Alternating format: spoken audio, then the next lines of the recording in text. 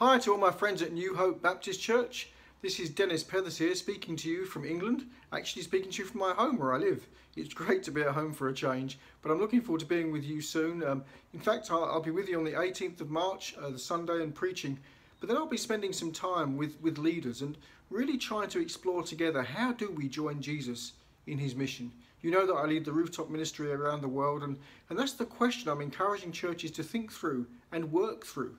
How do we join Jesus in his mission and reach people who don't come to church, people that are beyond the walls of the church? So if you're a leader of any small group or a leader of a men's group or, or maybe you're a leader of a group working with children or young people, the world in which we live is changing so rapidly. And each of these groups, the people that come to these groups, they need to be helped, encouraged, supported and equipped, not just to be able to be at the group, but how to be effective when they're not at the group. And that's what I want to be spending time with you doing when I come. So please, I invite you, any leader, uh, please come along to one of the meetings I'll be hosting and let me help you if I can.